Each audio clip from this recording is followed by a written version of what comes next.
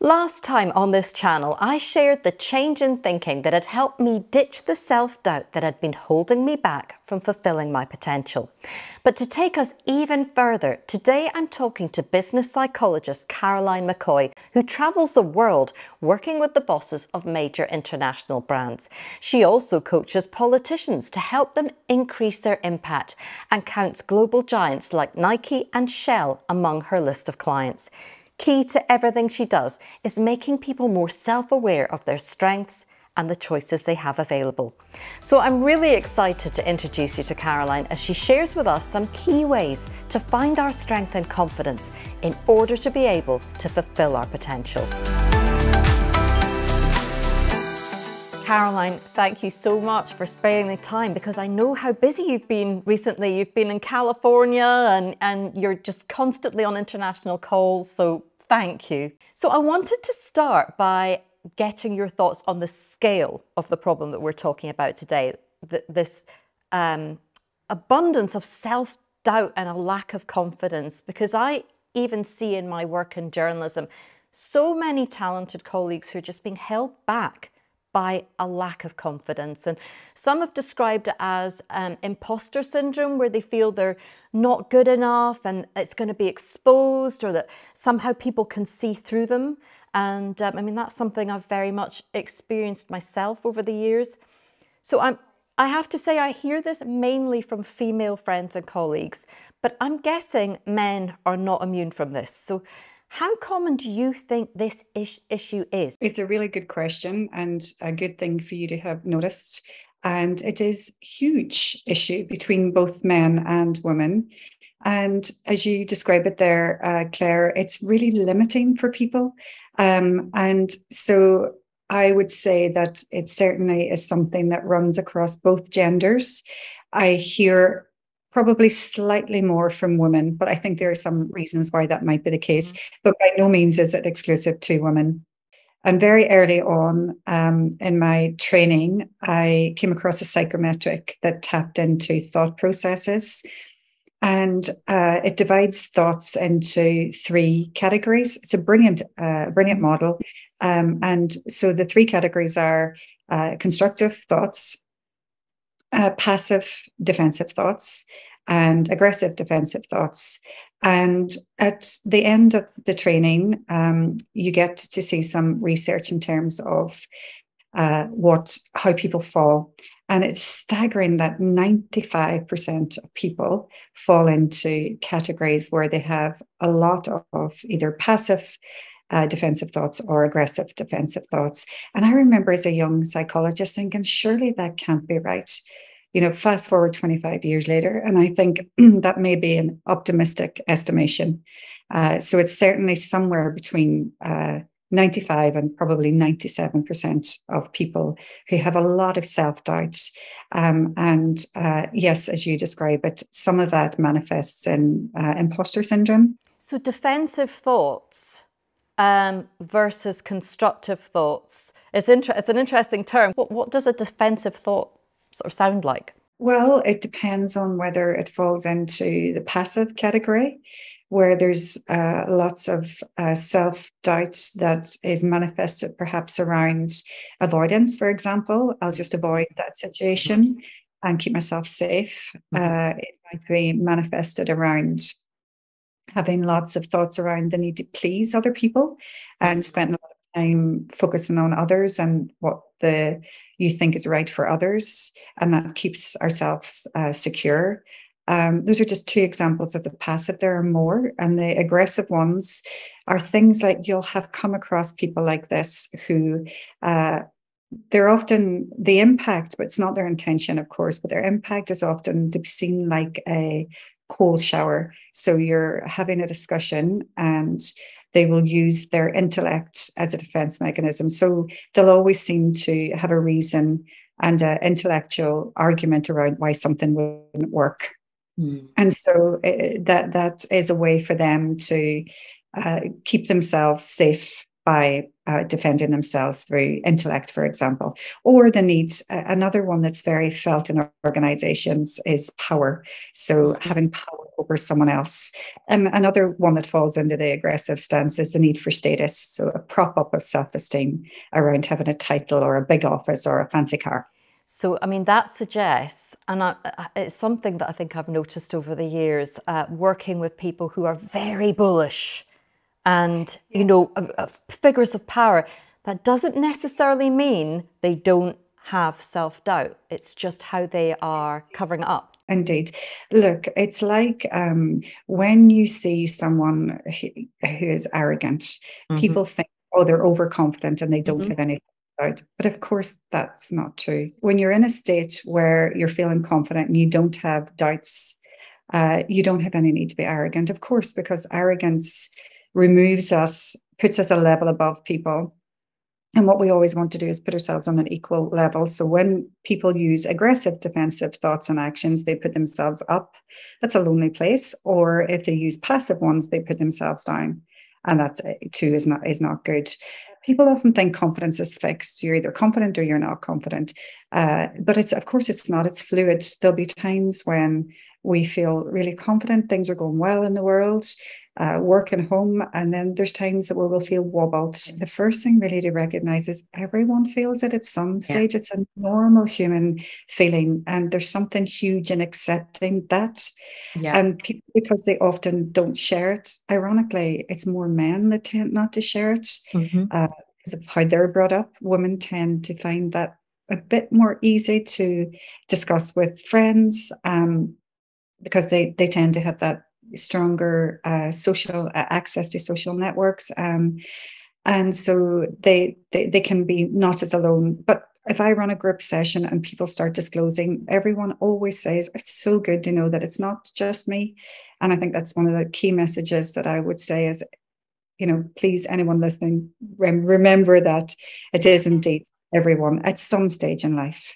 Yeah, absolutely. I think that's the thing that has helped me so much along the way is realizing that pretty much everybody else feels the same. There's nothing wrong with you for feeling that that lack of confidence because we you know we're all affected by it from time to time. The key issue becomes then what do you do when you find yourself in that situation? Where do you begin?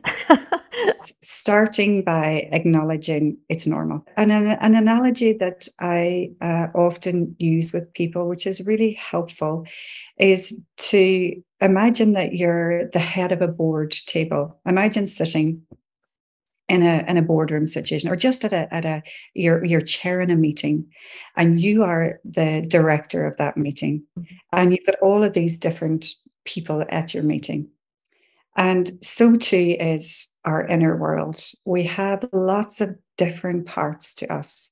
I like to say they're like inner advisors. Um, we, we don't have any say what inner advisors exist within us, but we have every say over what we do with them. In my understanding about how people work is that all parts of us are trying to do is good.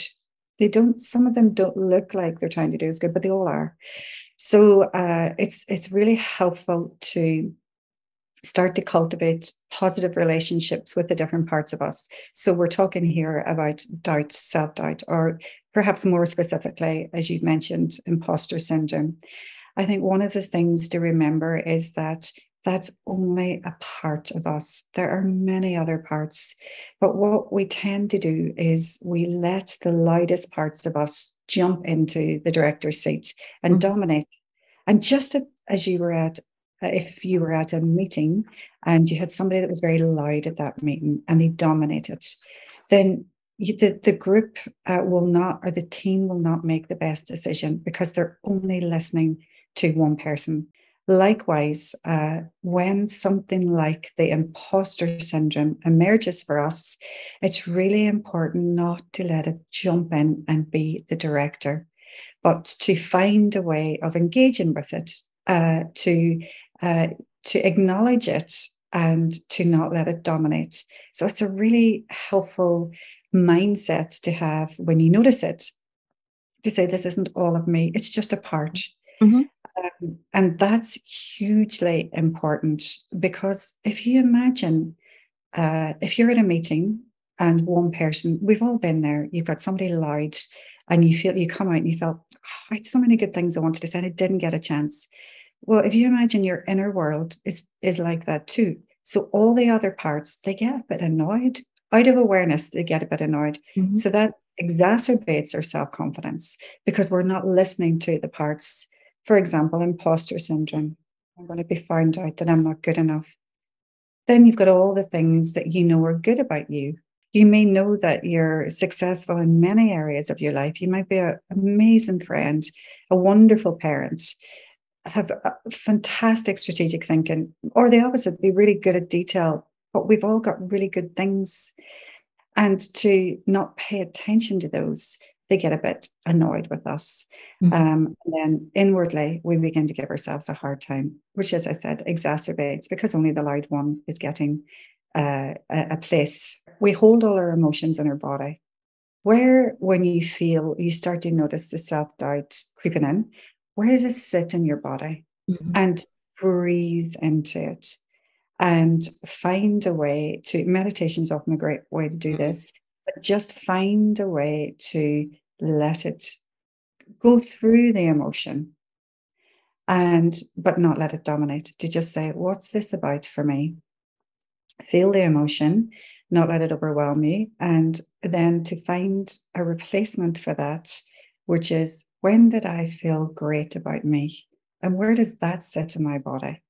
And then to really focus in on that. So the first thing is really acknowledging that it's human and that you can't get through life, it's impossible to not have these feelings. Then the second thing to do is realize this is just a part of me, it's not all of me. Yeah. And then to say, to, to welcome the part of you, because it will be trying to do you good. It might be that it's trying to remind you to stay humble in the world to stay balanced in the world. So, you know, asking questions of what are you trying to do for me that's good?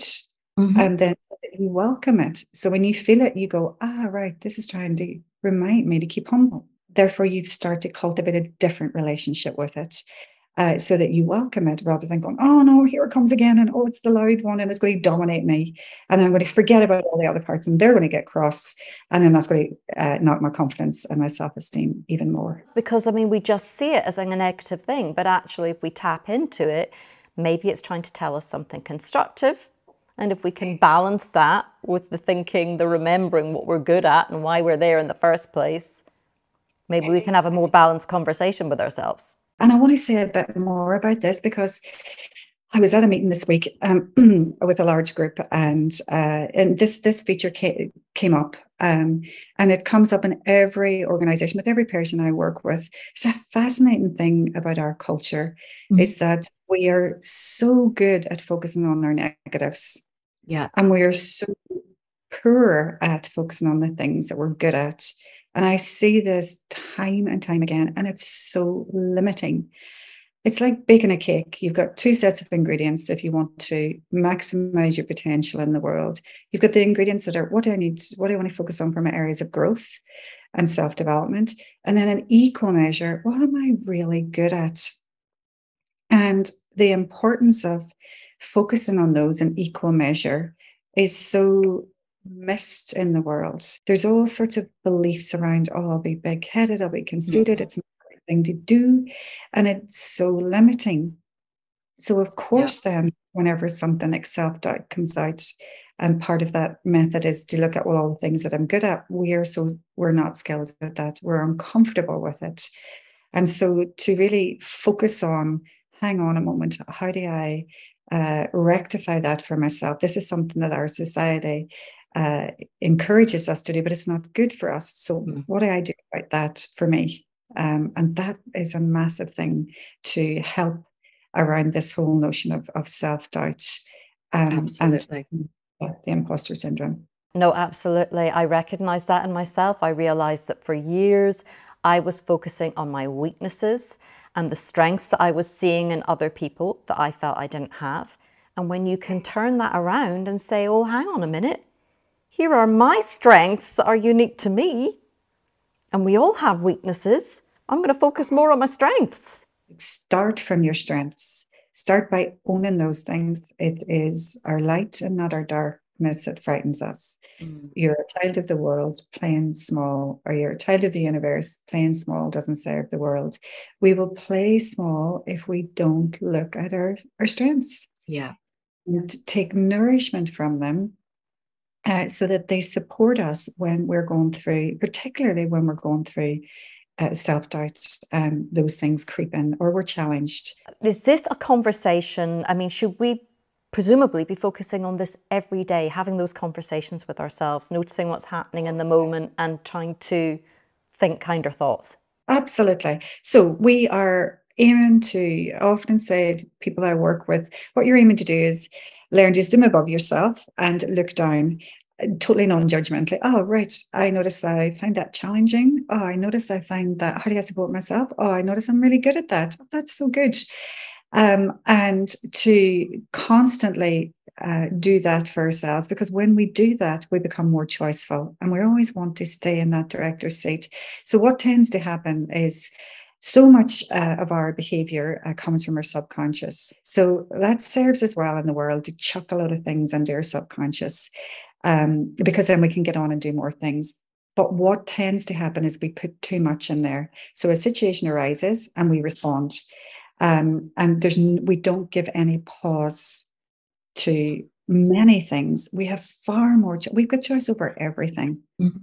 Not what happens to us, but we've got choice over what we do with it to learn to become more aware means that we become more choiceful means that we can say okay rather than the subconscious responding per, by the way the subconscious responds much quicker when we are challenged. So when our self-confidence is challenged then the old biological program or fight or flight kicks in. So yeah. lower part of the brain is activated and what we need to learn to do is to say what do i do in those situations? How do i become more aware so that i build a gap between situation arising and my response to it. And then in that, go, what are my options here? How do I support myself? How do I do? And the, you know, on a daily basis to be able to do that, we become more self-aware, we become more choiceful, we become more grounded in the world. Um, yeah, all good. Love it, Caroline. I could spend all day talking about this. Thank you so much. I hope you found that conversation with Caroline as helpful as I did. If you want to find out more about her work, I'll share a link to her website in the video description. And if you want to watch more inspirational videos on this channel, as well as product reviews and an array of expert interviews, then don't forget to subscribe and to hit the notification bell. For now, thanks for watching and I'll see you next time.